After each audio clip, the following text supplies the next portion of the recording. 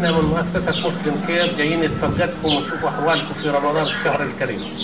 حكينا شو وضعكم وحالكم أنتم. والله إحنا عايشين بالاجار وجوزي لا بدفع اجار ولا حاجة.